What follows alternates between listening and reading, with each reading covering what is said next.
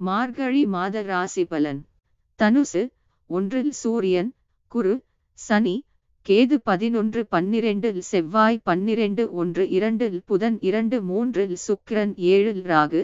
தனுசு ராசி அன்பர்களே மிகவும் பொறுமையாக இருக்க வேண்டிய மாதம். புதிய முயற்சிகளில் ஈடுபட வேண்டாம். வழக்கமான பணிகளிலும் கூடுதல் கவனம் செலுத்தவும். கணவன் மனைவிக்கிடையே ஏற்பட்டிருந்த கருத்து வேறுபாடுகள் நீங்கும். சகோதரர்களால் மாத முற்பகுதியில் ஆதாயம் உண்டாகும். மாத பிற்பகுதியில் மூன்றாவது நபரின் தலையீடு காரணமாக சகோதரர்களுடன் மனஸ்தாபம் ஏற்பட வாய்ப்பு உள்ளதால் சற்று எச்சரிக்கையாக இருக்கவும் சிலருக்கு வாழ்க்கை துணை வழியில் பணவரவுக்கும் பொருள் சேர்க்கைக்கும் வாய்ப்பு உண்டு. அரசாங்க காரியங்களில் சற்று இழுபறியான நிலையே காணப்படும். தந்தை வழி உறவினர்களால் சில பிரச்சனைகள் ஏற்பட்டு அதன் காரணமாக குடும்பத்தில் குழப்பமான நிலை ஏற்பட வாய்ப்பு உள்ளது. நண்பர்களால் அனுகூலம் உண்டு.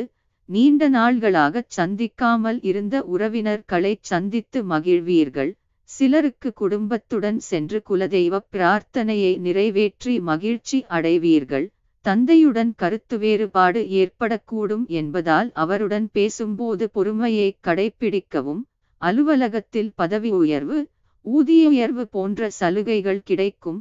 ஆனாலும் பணிச்சுமை அதிகரிக்கவே செய்யும். சக ஊழியர்கள் உங்கள் பணிகளில் உதவிகரமாக இருப்பார்கள். சிலருக்கு வேலையில் இடமாற்றமும் ஊர்மாற்றமும் ஏற்பட வாய்ப்பு உண்டாகும். தொழில் மற்றும் வியாபாரத்தில் விற்பனை அதிகரிப்பதுடன் லாபமும் படிப்படியாக உயரும். ஆனால் முன்பின் தெரியாதவர்களுடன் ஒப்பந்தம் செய்து கொள்ள வேண்டாம். ஷேர் மூலம் ஆதாயம் வரும். கலைத்துறையைச் சேர்ந்த அன்பர்களுக்கு தடைப்பட்ட வாய்ப்புகள் கைகூடி வரும் வருமானமும் அதிகரிக்கும் பாராட்டுகள் குவியும் புதிய ஒப்பந்தங்கள் கையெழுத்தாகும் சிலருக்கு வெளியூர் வெளிநாடு செல்லும் வாய்ப்பும் உண்டாகும். மாணவர்கள் படிப்பில் கூடுதல் கவனம் எடுத்து படிக்க வேண்டியது அவசியம். பொழுதுபோக்குகளை குறைத்துக் கொள்வது நல்லது. ஆசிரியர்கள் பாடங்கள் நடத்தும் போது கூர்ந்து கவனிப்பது அவசியம்.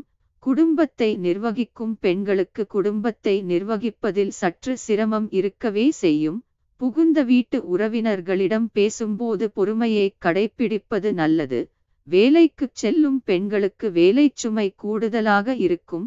சாதகமான நாள்கள் டிசம்பர் பத்தொன்பது இருபது இருபத்து ஒன்று இருபத்து இரண்டு இருபத்து மூன்று இருபத்து ஆறு இருபத்து ஏழு முப்பது முப்பத்து ஒன்று ஜனவரி ஒன்று ஏழு எட்டு ஒன்பது பத்து சந்திராஷ்டம நாள்கள் ஜனவரி பதினொன்று பன்னிரண்டு பதிமூன்று அதிர்ஷ்ட எண்கள் மூன்று ஏழு வழிபட வேண்டிய தெய்வம் துர்கை முருகப்பெருமான் பரிகாரம் செவ்வாய்க்கிழமைகளில் கந்த சஷ்டி பாராயணம் செய்வதும் சனிக்கிழமைகளில் அனுமன் சாலீசா பாராயணம் செய்வதும் நற்பலன்களைத் தரும்.